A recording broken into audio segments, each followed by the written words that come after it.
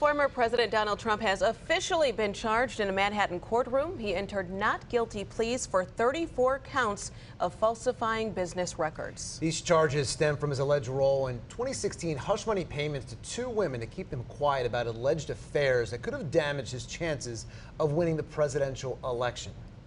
Joining us now to discuss the charges are Melvin Butch Hollowell, managing partner at the Miller Law Firm, and former corporation counsel for the city of Detroit, and that's both you, yes. and Matt Seely, a spokesperson for the Michigan Conservative Coalition. Gentlemen, thank you both so much for being here. You're welcome. With everything that happened today, what are your initial reactions? Well, we had the indictment unsealed today, you know, so at 2.15, uh, when the former president was in the courtroom, the 34 charges uh, were spelled out. And so essentially what this is, is falsifying business records in order to defraud an election.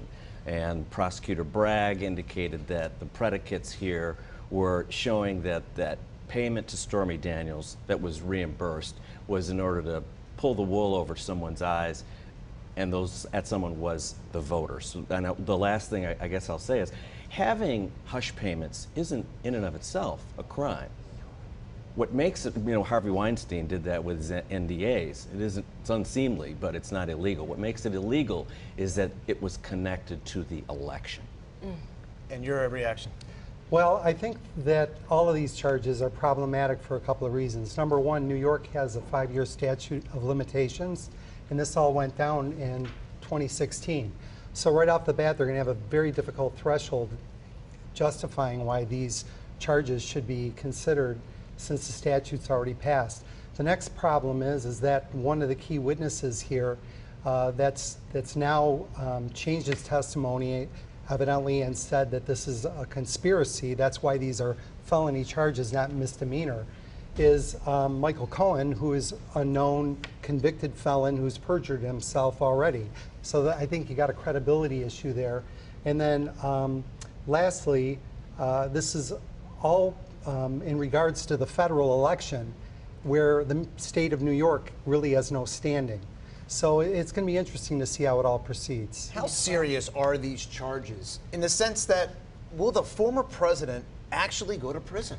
Well, under the penal code of the state of New York, and it's 175.10, it's a it's called a Class E felony, which means it's one to four years. What Prosecutor Bragg said at his post-arraignment press conference today is these are bread and butter cases for prosecutors in their office in terms of these business fraud allegations. Here's the other thing. This is a seasoned prosecutor. He's been a prosecutor for 24 years. He understands the threshold for getting a conviction is high, um, beyond a reasonable doubt. So he said, we've got tapes, we've got emails, we've got everything that's attached to those 34 business records.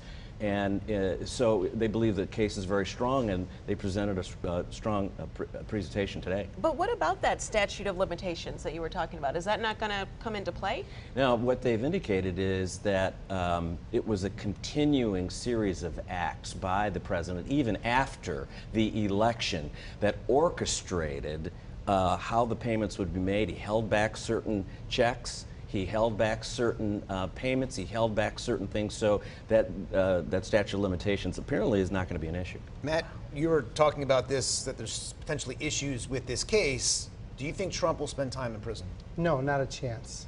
In fact, I I think there's a very strong chance that most of this will get thrown out. Why do you believe that? Because I just think that they, what they've done is they've taken state misdemeanor charges and then said that this is actually a conspiracy so Trump was involved in a conspiracy, and that's what bumped them up to a felony. And uh, I think that there's a real big burden to try and prove a conspiracy was taking place here. And um, even so, with the continuation that Butch just mentioned, most of those are through the middle of 2017, which is more than five years ago. So I'm sure all of that's going to be argued. It's going to be fascinating to watch it unfold. And um, you know, when Hillary Clinton was running for president, uh, ultimately her campaign paid hush money to the uh, Steele dossier uh, people, and um, she was fined for it by the FEC, but it didn't rise to the level of a crime.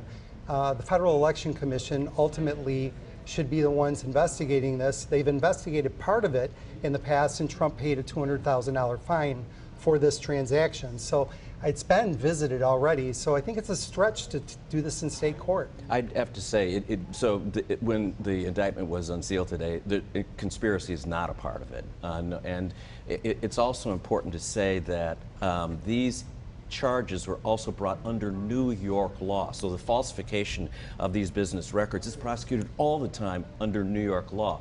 And um, having false records in connection with a candidacy is being prosecuted under New York election law.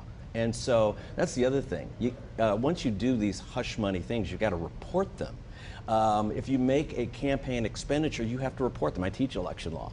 And so he didn't. And he held back because of, uh, in order to try to defraud the voters, to not let them understand what was going on. It's a crime. In the end, this is going to be a lonely period where he's going to have to sit there and listen to the evidence, and a jury is going to be listening to that evidence. And they did not bring this case unless they believed very strongly that they have enough evidence to convict. What does Alvin Bragg have to prove here during all of this? I mean, other people have looked at this and have decided not to bring charges against Donald Trump. Trump believes this is a witch hunt. Well, there's three other active cases for a total of four cases, and if you look at them on their individual merits, each one seems to be politically motivated, which is the wrong use of our um, judicial system. You know, when we start weaponizing our court system for political purposes, that's a problem. And I'm hoping that ultimately uh, this is all brought out into the open, that he has the opportunity for a jury of his peers to hear this, and that justice is served. If he truly broke the law, then then he deserves to face the same penalties as any other citizen. The criminal justice system is a weapon for a good reason. You need to hold people accountable if they break the law. And when you call the Georgia Secretary of State saying, I want to find 15,000 votes, and when you incite people to violence in January 6th and try to overturn a national election, these are things for which there are consequences. All right. Well, thank you, gentlemen, so much for joining us with this insight here on a unprecedented case involving former President Donald Trump. Matt Seely and Melvin Butch Hollowell, thank you so much for being with us tonight.